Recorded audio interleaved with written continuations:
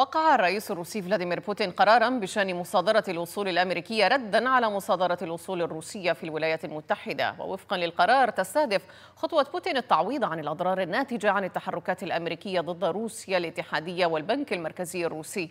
وبموجب ذلك فإنه يمكن لمحكمة في روسيا مصادرة أصول تعود ملكيتها إلى مواطنين أمريكيين.